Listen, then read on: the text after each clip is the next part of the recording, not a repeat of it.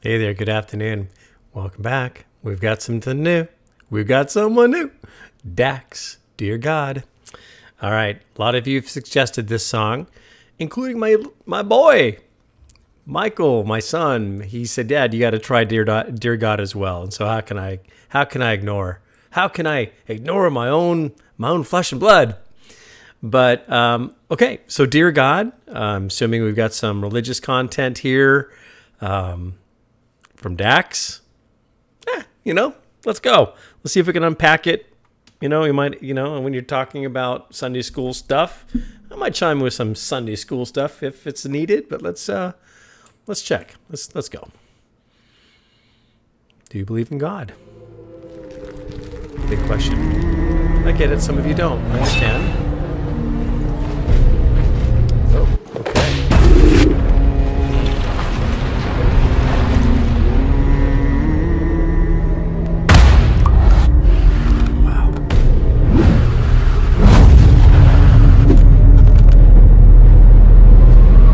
Interesting. Um, scourging, leather whip. The ends of the whip are dipped in sometimes lead, something to give the the the, the tails a bit weight to help. And normally there's broken pieces of pottery, stone, bone, different kinds of things that are embedded in the lashings of the whip. That's a scourge. That's what Jesus was whipped with, and kind of demonstrating this here. And it was meant to completely uh, strip the flesh. Um, it would whip and wrap around the body, and the person would twist, rip, and whip and pull, and large pieces of flesh would be taken from the whip. And um, sometimes uh, punishment would go up to 39 lashings. They they had a tradition to believe that 40 would be the death blow, and so they held it back one and would give 39 stripes for punishment of different kinds of punishment. Pretty brutal, pretty brutal.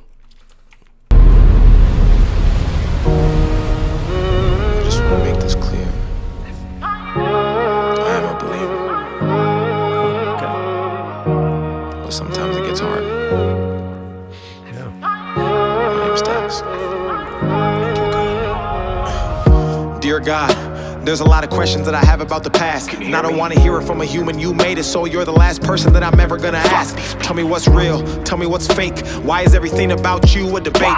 What's the point of love? Every time I showed it, I was broken and it's supposed to be just the only one I hate. Wow. Yeah. Good start. Um, first of all, I kind of kind of like his voice. so far, I like the speed of what he's rapping um, and and talking. Meaningful. Not a not a whole bunch of you know uh, meaningless mumble rap at all. And so, yeah, uh, so far I I like the, the the the music kind of playing around and the beat and his delivery so far. I like it. Um, yeah, I mean, uh, you know, his questions already are are very well thought out by many of us. We all think about these things like, why don't you tell me God directly what's going on? Blah blah blah. You know, I get all of that, and I think you know, from my Sunday school, I think from my per, my perspective is that Adam and Eve, when you had that fall, and God had told them, "Hey, the day you eat that fruit, you shall surely die." And of course, the serpent said, "You're not going to die. You know, you're just going to be like God, right?" And so there's the pride of life entering in right then, right? But more than um, you know, when they ate it, they didn't die immediately, but they ushered in death. They ushered in human death, death spiritually, and thus entered in sin into our lives. Right? That's like Sunday School 101, right? But the reuniting as we are trudging through this world and having to deal with all kinds of hardship and stuff in our lives, like he's asking about here, it's like, yeah, of course, we haven't made that we haven't made that turn from being kind of you know stuck in this kind of state perpetual state of sadness and loss but that redemption was brought back through Christ right that's the that's the whole picture picture so we can look forward with a hope to be like him when we go out of this life. But until then, we're still gonna have to deal with the junk and stuff that's around us, right? But um, and that's where that redemption part comes in. That there's that way of escape that He's provided. Is kind of just to kind of address him and maybe some of your questions, you guys. I saw some of your questions and quotes on on one of the songs I did that uh, some of you asked some some of these really important questions. And it's like, yeah, I, I get it. It's like, how could a loving God do this or that or that? You know, it's like, well, how could a loving God give his own son so that he can provide a way out? Right? He's kind of one of those answers. But again, I get it. I can't tell you how many times, even recently, thinking in my mind, going, gosh, you know, really? You know? We're all there, guys. I mean, we'll all deal with it. I get it.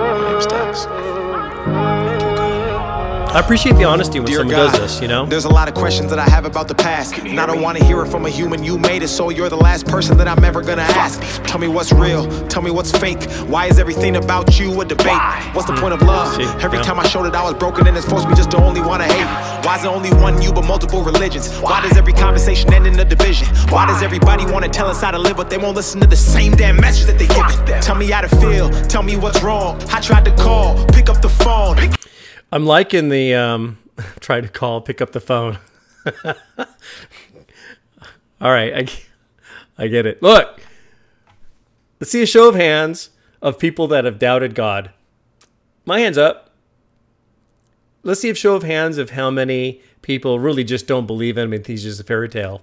My hands up. I felt that. I've thought that in my past. Who here thinks it's a bunch of baloney and just, you know, no one knows what they're talking about? Me. Hands up. Been there, done that, right? Who loves God? Who who who trusts in him? I do, right? 100%. But it's hard sometimes. Just like the other song that I posted, um, Hopsin 7. Really great video. Really worthwhile questions, intelligently thought out. Tragically concluded. Um, but I get it. Come on, you know, I think we all get it.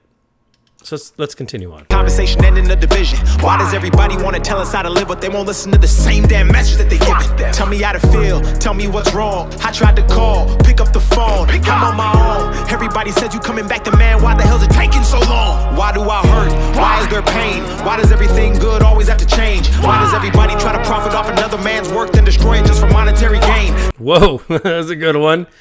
Wow, think about that.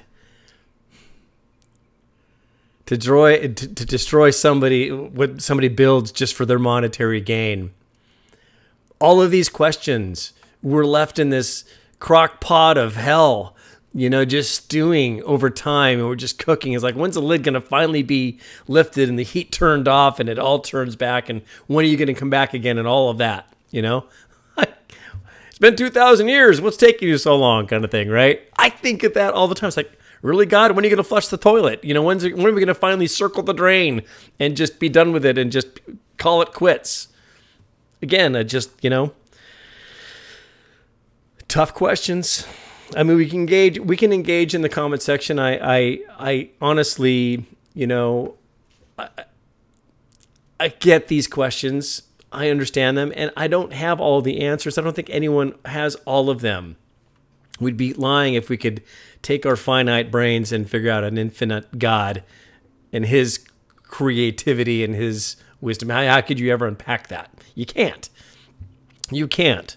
You know, I look at some of the things that we are capable as of human beings. Brain surgeons, my goodness, heart surgeons. The fact that they can go through an artery and go up into the heart and put in a little, you know, stent in there and all the things that can be done and it blows my mind. You look at the Ken Jennings, like the the uh, Jeopardy guy, and you sit in awe and you think, "Wow, look what he did!" Or you look at someone that built the Twin Towers in New York, tragically fallen by evil, right? But yet you look at the design of what we can do, and yet we look at a simple flower and, and attribute it to just uh, pond scum evolving over time. I I get that too. I get that too. I was on that hook as well. Man, I'm so re- I can relate so much to some of you that are probably going to reach out to me and go, "Yeah, but what about this, Chris? What about that, Chris?" It's like, yeah, good, good question. good question. Are we meant to know all the answers? I, I just don't. I don't think so. Why does think so. everybody try to profit off another man's work then destroy it just for monetary gain? Tell me, are you black or are you white? I don't even really care. I just really want to know what's right. They've been saying one thing, but I've been looking in the book, and it seems like they've been lying for my whole damn life. Tell me where I'm going. Is it heaven or hell? I just hope this message greets you well. Had a dream that I was walking with the devil. Don't remember how it feels, but I swear that I remember the smell. Looked me right into my eye and told me everything I wanted could be mine if I gave up and decided to sell. But I said I'd rather die than get mine. Now I'm here. No fear, one man with a story to tell. Hmm, Yeah, so it's like, hey, you know, um, again, I'm just look it. You guys asked me for it. I'm giving it to you. So don't, please don't come down to me and go, you're just a religious fanatic, you know, whatever. I'm just addressing some of the stuff that I'm seeing here. Um, I'm not going to apologize for my beliefs at all, as I don't think that he should. I don't think that he should apologize for his beliefs. I hope that there's peace someday. And even with M, my goodness, you know, he's right. He's such a wise man. He's such a beautiful person. Um, it's like like I've mentioned before. He's right at Thor. He's right right there. You know. But anyways, it's it's like this. It's like you've got to appreciate a man like this, Dax, that's willing to be honest with his struggles. That's the beauty of the thing that I'm really falling in love with with rap is the the downright honest struggles that people are having. Man, huge respect. Gave up and Huge decided to respect. sell. But I said I'd rather die than get mine. Now I'm here. No fear, one man with a story to tell. Yeah, so he's like, hey, you know, it's like I'm not gonna, I'm gonna, I'm not gonna trade or whatever uh, down here and just take mine here on Earth. It's like he's kind of saying, hey, you know, it's like I was brought to this precipice. What do I do now? Dear God, where were you when I needed it? When I fucked up and repeated it? When they set the bar and I exceeded it? My life is like a book that they've been judging by a cover, but have Wow. never took the time. Where I set the bar and I exceeded it. Like, where were you when I needed it? You know, all, all of these kind of things. Wow, interesting. Interesting. Man, just I, I'm just thinking back on my life, just um, all the struggles I've had and all the things that I've been through, and all of it. It's a good question. Like, where were you when I needed you? I don't know if you guys have ever heard. Okay, story time. You ever hear the story? I'm sure you all have. I mean, please, please tell me if you've not heard this story. This is like a common one. Uh, footsteps, footprints in the sand, right? Um, something like that. Um, I was walking along the beach. I don't remember it completely like verbatim, but I was walking along the beach and through life, and there were two sets of footprints, mine and God's. And I'm going, great, he's with me. But then when I went through my lowest times in life, drug use, whatever, alcoholism, cutting, suicidal tendencies, name it. But during the darkest times of my life, where I needed you most, I looked back and only found one set of footprints. I'm all alone. You leave me when I'm in the most tragic time of my life. Where are you? And he says, Hey, those times you were going through that, it's those times I was carrying you. That's why you see one set of footprints, right? So, where were you when all this stuff happens? He's there. He's there. When I fucked up and repeated it. When they set the bar and I exceeded it. My life like is like that. a book that they've been judging by a cover, but have never took the time to fucking read the shit. I remember telling you my goals and my dreams, but you didn't even answer, so I guess you didn't believe in it. I remember sitting with a gun to my head trying to ask you for some help, but I guess you didn't believe it. I don't want religion, I need that spirituality. Hold on. What was that? Up in the air? What is this? You didn't believe it. I don't want religion, I need that spirituality. I don't need religion. I need that spirituality. Hmm, that's interesting because there is that defining difference between spirit, spirituality and religion. Religion's kind of could be more played out on man's kind of traditions, right? In a way, where religion, where spirituality is more of a, you can almost say, "Wow, I, I, I've met my soulmate, the spiritual mate. I've I've met that person." Um, that true relationship, right? That's what he's kind of talking about. I want something that's going to transcend relationship, that's going to go to spiritual connection. You can have a spiritual connection with somebody that's really connected, right? Along those lines. Really, really smart, smart thought, thoughtful song. I like it. I like remember it so sitting with a gun to my head trying to ask you for some help, but I guess you believe. I don't want religion, I need that spirituality. I don't want a church, I need people to call a family. I don't want to tell my sins to another sinner just because he's got a robe and he went to some academy. I mm, mm. You you see, it- yeah, that's what he's talking about about the religion. A wife, raised Catholic, don't jump on me, okay? But that's what he's kind of talking about. He's saying, "Hey, where's the difference? I want to. I, I don't need to be able to just confess my sins to a guy because he happens to have a robe, right? The traditional kind of thing, yeah, it, we're meant to tell each other and confess our sins to each other um, because it's helpful to talk it through and get feedback and realize that if someone on earth after confessing my sins can love me how much more so can god you know?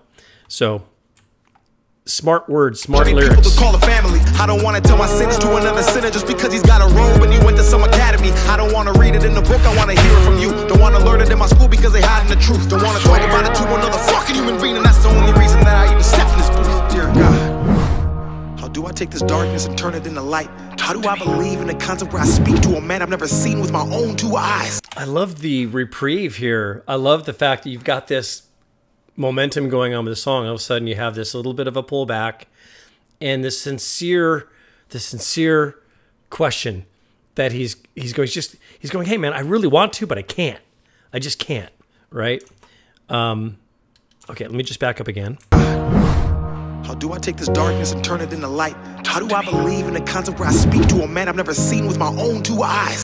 well that goes back to thomas again i'm sorry for all the pauses. Uh, this is more like a sunday school message isn't it? I, um, thomas i'm not going to believe it unless i see it with my two my two own eyes. That's where doubting thomas come, comes into play. That's where that's where that saying comes from is oh you're just a doubting thomas. Thomas right? Disciple. Didn't believe that jesus was risen from the dead. And then finally jesus says hey bud here i am. Touch me feel me. But he says hey you have believed because you've seen, but blessed are those that have not seen and still believe. That's where faith comes in, right? That's the whole piece that he's he's referring to. That frustration, that loop, that endless loop and the truth of the dynamic of what faith is all about compared to what you want shown as proof are never going to be reconciled. It just it just won't. It's like, darn it, why isn't grass blue? You know, why don't they make blue grass? That was a total accidental dad joke. Love it. You get where I'm coming from. Grass. How do I take this darkness and turn it into light? How do I believe in a concept where I speak to a man I've never seen with my own two eyes? How do I know that religion wasn't made just to separate the world and create a whole disguise just to keep us in these chains while the rich get richer and the poor pray to you and perpetuate a lie? How do I know this ain't some big joke? How can I have faith when there is no hope? How the hell does one man have a hundred billion dollars and we still have people on the street that are broke? There's a lot of things I wanna talk about and get off my chest. I can't sleep cause the devil won't let me rest. I used to know a fucking pastor in a church and I can still hear the screams of the kids he will fucking molest. Dear God! Wow. Wow. Think about that. Think about that. Some of the child molesters in the church, horrible misrepresentations of God. It's a horrible thing to misrep- rep- misrepresent God. Look at Moses. Yes, Ten Commandments. Come on, guys. You've seen it, right? Old Mo talking to Pharaoh, let my people go. You know, frogs, toads, flies, the death of the firstborn, all of these things, leading the people captive out of Egypt into the desert, walking with God, following him. And then he misrepresents God. God tells him to strike a rock and the water's going to come out and give everyone water. He does it, great. Next time, God says, hey, talk to the rock and then water will come out. And Moses goes, oh, do I have to strike this rock again? Smack, hits the rock. God goes, oh, I was trying to paint a picture, Mo. Now you can't come into the promised land. All after all he did, after all that he, all the good stuff, leader, mentor, uh, walking with people, all of that, p- pointing people to God. Sorry, you can't come in because you misrepresented me. child molesting priests, pastors, people that have fallen from grace. Uh, you've misrepresented me, right? Pretty serious thing. Think about it. Striking a rock, hitting a rock, and have that be the outcome. Something as simple as that. Something as simple as eating a piece of fruit and ushering in all of the fall of man. That starts to that starts to mess with our intellect of going intellectually it doesn't make sense. I don't get it and thus is born questions. Right? Interesting so far. And this whole thing of him like this is is really pretty. I'm supposed to fear you, but you ain't said shit. So maybe it's you who actually fears me. I don't know the answer, I just wanna see it clearly. So many lies, a thousand different theories. All I wanna know is who really made religion, cause I know it wasn't you, but don't nobody believe me. No more lies, no more death. Bring back King, bring back X. Please, dear God, let their souls rest. Protect Bring back King. Martin Luther King. Bring back X Malcolm X. I- I'm guessing. Leaders, people that he can tangibly touch that have changed history. Trust in man. I don't know. You can't trust me. I can't trust you. No one can trust a human being, right? But interesting interesting hook bringing bringing that here and trying to make it relatable so he can actually have someone to touch and hold it's like hey you know if you're not going to answer maybe these guys will right interesting No more lies, no more death. Bring back King, bring back X. Please, dear God, let their souls rest. Protect who's left and watch their steps. Dear God, I don't want to have to ask you again. I just hope that you know that I'm still a believer, so I'll end this all by saying amen. wow yeah